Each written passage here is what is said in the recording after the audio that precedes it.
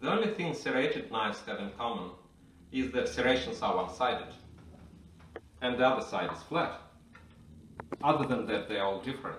Some producers put serrations on the left side of the knife, others put on the right side. Edge angle in the serrations can be anything from 18 to 40 degrees. However, the majority falls near 30 degrees. For example, this Kanpan bread knife has edge angle in its serrations of 28 degrees. Spyderco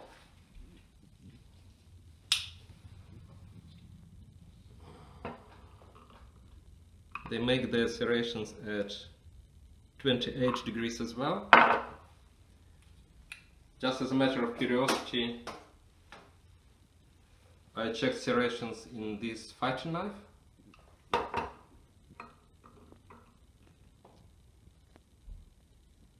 And it is 26 degrees. So the majority is near 30, but take this bread knife and its serrations are 38 degrees. This was just to illustrate how different edge angle serrations are, but this is not to be a concern when we sharpen them, because we do not sharpen serrations, we sharpen the flat side. We grind the flat side and deburr inside the serrations. Serrated knife sharpening is 10% of grinding and 90% of deburring. Once again, we do not grind in the serrations. Grinding in the serrations is not sharpening. Grinding in the serrations is restoration. I can restore Spyderco, but no one would ever bother restoring a bread knife. We just sharpen and sharpen them till they are good to use, then throw in the bin. I will show how we sharpen serrated knives on the example of this Kanpan bread knife. Let's take the initial sharpness.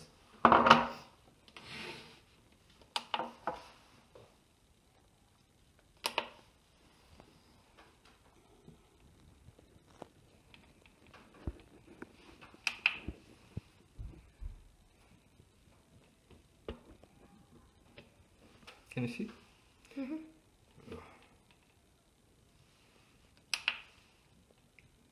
And the sharpness in the arch is 410. This knife is near dull.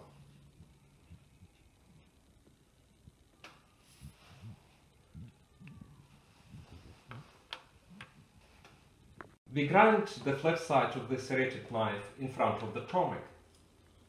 The frontal vertical base allows place the knife flat on the wheel.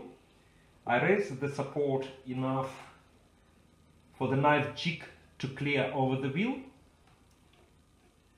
and then keep raising slowly till I get the serration arch contact the wheel. We do not need it any lower. Uh, could you show from it? from inside, from downside.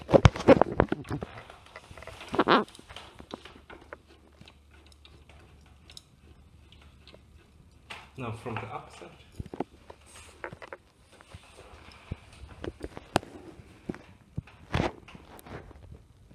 Okay.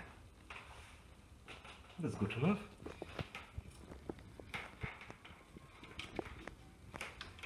Oh, if you could from here.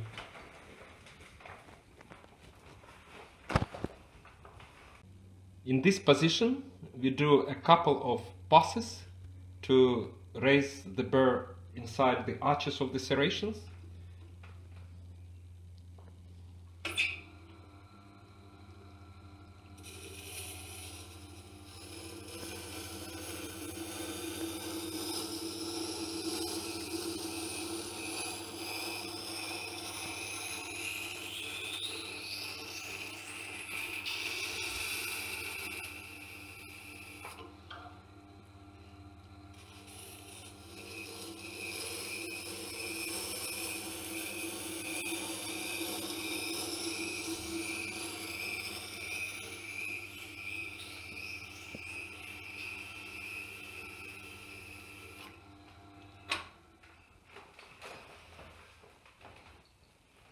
Two, three passes is usually enough.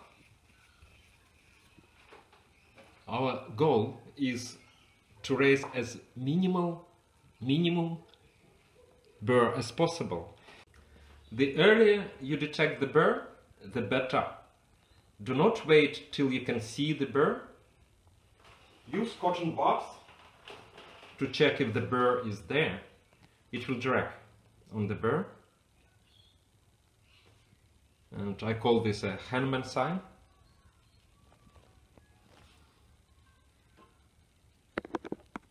As long as soon as you see the Henneman sign, uh, the grinding is complete and we can move to deburring. I've been asked the question what wheel grit to use. Generally speaking of knife grinding, the less the burr the better, serrated or plain knives, but with serrations it is especially important to displace as little ground metal into serrations as possible. Because you cannot flip the blade and thin the burr on the other side. So the finest grit that works for a particular knife is your best grit. The wheel grit near 1000, like the graded Tormek wheel, works for the most serrated knives. But if the knife is grossly dull, start grinding on a coarse wheel, but apex on grit 1000. Now we proceed to deburring inside the serrations. It is not possible to deburr cleanly on the Tormek leather wheel. But if it is all you have, and you are desperate to have this knife done right now, you can deburr on the corner of the leather wheel. But only occasionally, because if you do it often, the serrations will fray your leather wheel. If you do, forget the universal support, do it freehand and do not slant the blade more than necessary. Try to keep it as close to the horizontal as possible.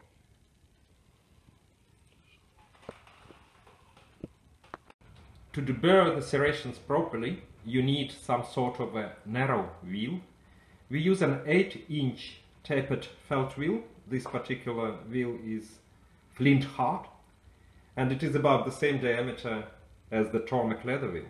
Both my wheels have Tormek honing paste on them. The honing angle is maintained with our frontal vertical base and set with the help of our computer software. Let's move to the computer. We will be deburring the scan serrated knife on the Tormek 7. That tapered felt wheel diameter I measured earlier, it is 203.3 millimeters. Now we have to measure the jig projection, jig length.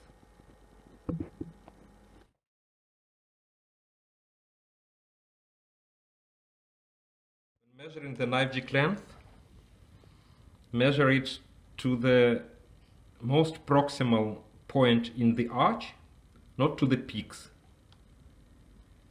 In this case, it is 138 millimeters.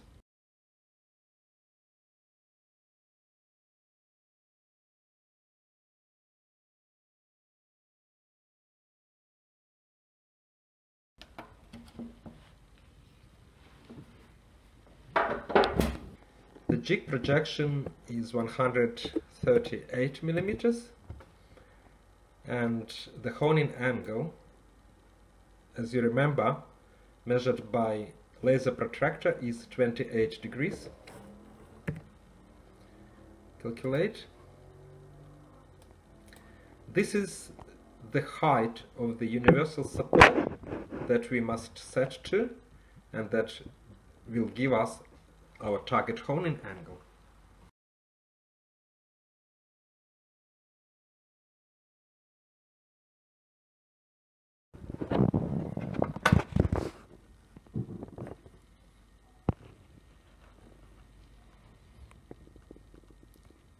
I put round it to 88 millimeter.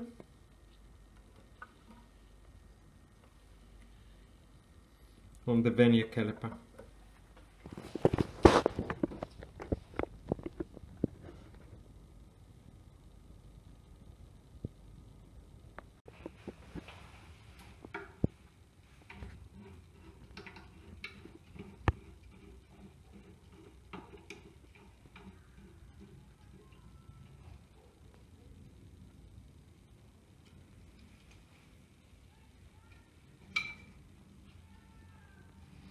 The universal support height is set to hone at 28 degrees. If you don't have a laser protractor and do not know the exact edge angle in your serrations, just set it to 30 degrees as common serrations have edge angle near that and adjust using a marker method. Do not rush to do all the serrations. First deburr a single serration, as most probably you will have to adjust the deburring angle to get the burr. I will mark one serration for you.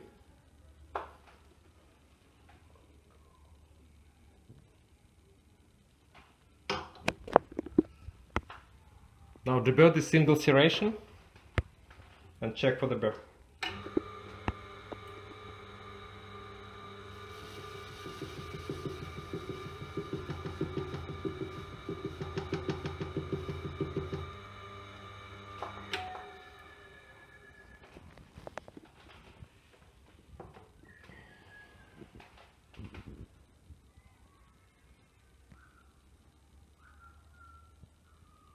Yeah, this angle is right. Now we can proceed to do all the serrations. But suppose you still had the bird dragging on the cotton bud.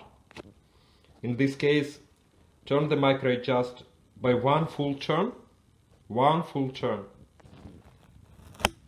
up and try again and so on till the bird is gone.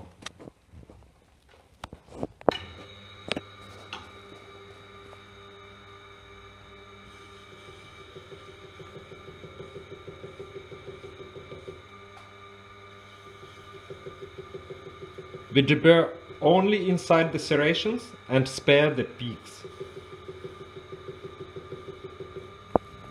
Peaks must stay peaked in the serrated knives. They are supposed to rip the stuff.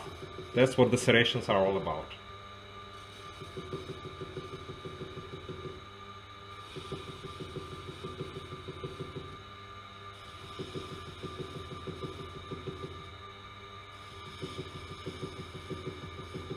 Takes time.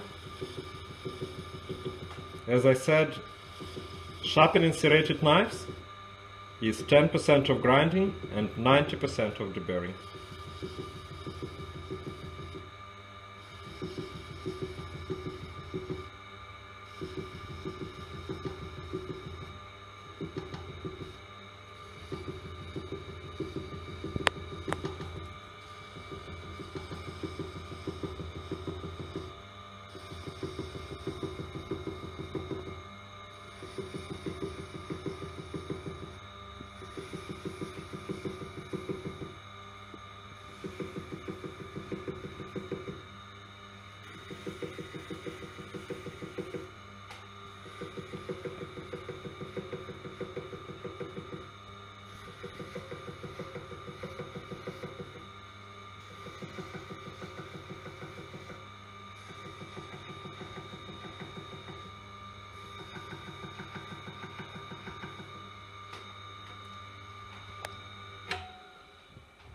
Now flip the blade on the flat side and hone it on the Tormek leather wheel freehand.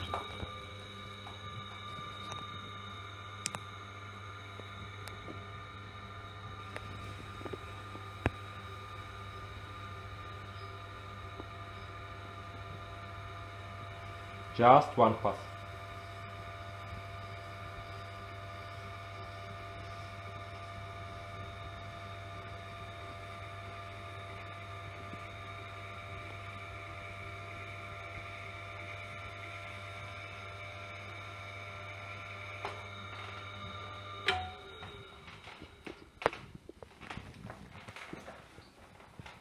I cleaned the honing paste off with white spirits.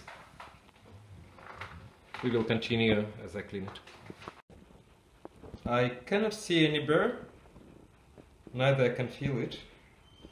Let's test sharpness. Uh, I want to test on the sharpness tester straight away, but I realize that not everyone has got it. So let's do a couple of conventional sharpness tests, what people usually call magazine paper.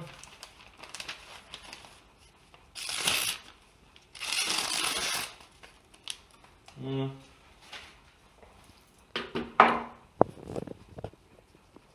Let's see if I've got any here. Are they visible on your display? Yes. Oh, okay.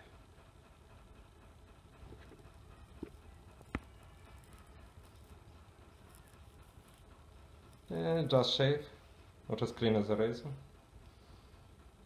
Still leaves bold patches of glory. And sharpness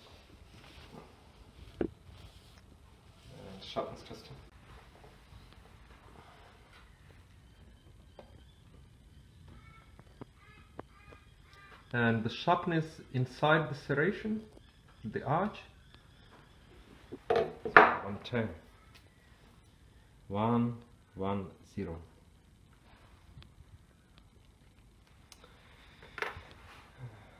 Are we done yet? If you read my book, you will know that at this stage we've removed the bulk of the burr, but not the root of the burr, and might have a wire edge there.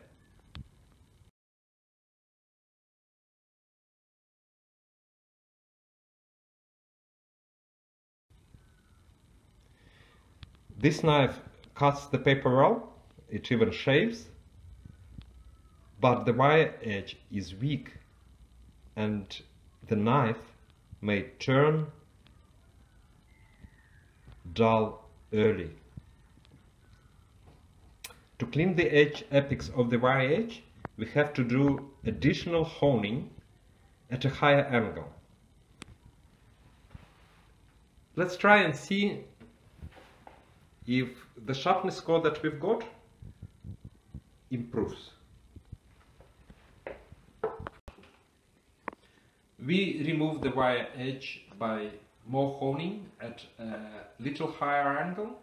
For mainstream knives, it is by one full turn of the micro adjust that raises the universal support by approximately one and a half degrees.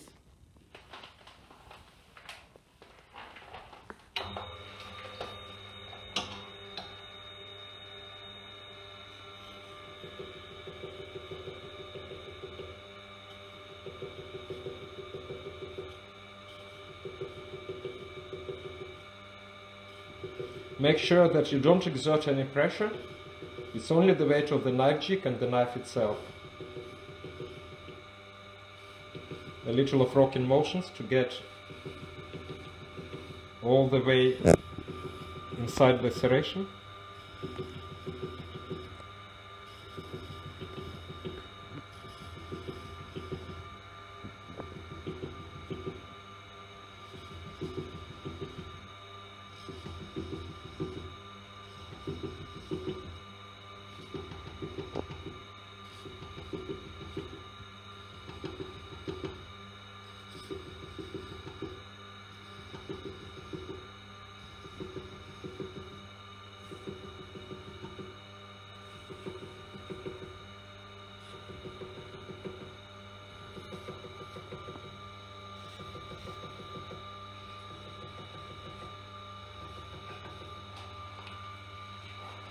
Leave the blade and do the flat side.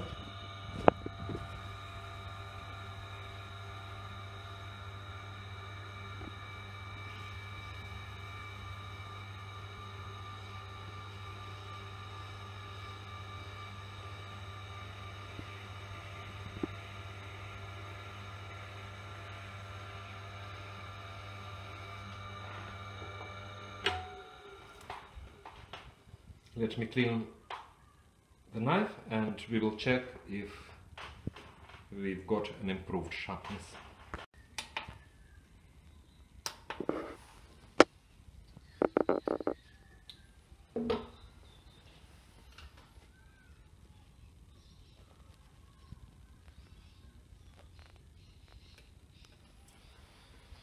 Clean apex.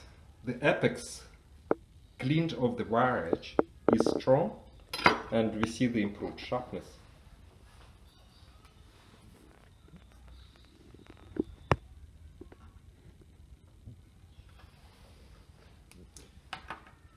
The edge cleaned of the wire edge will stay sharp for long and our customers will definitely appreciate that.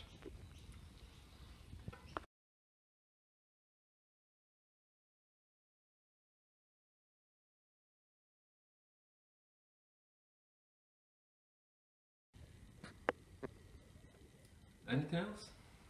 Maybe more about felt wheels. Right, let me bring it.